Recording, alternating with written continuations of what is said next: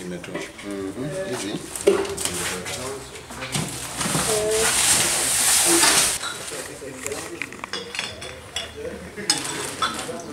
Na walipopata hiyo habari, uchunguzi ukaanzishwa mara moja na tukaweza kwenda eneo la Gambogi.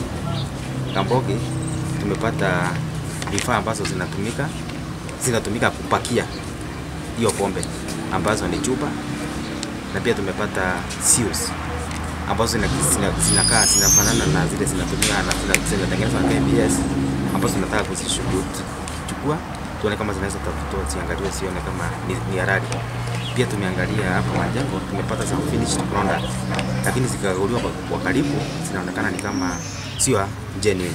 Tungetaka pia kutahadharisha wananchi ya kwamba wajue pombe ambayo haijatengenezwa kwa njia halali inaweza kudhuru afya. So tunaomba watu wakipata pombe ambao wanashuku sio sawa, watupashe habari ili tuweze kuzuia maafa.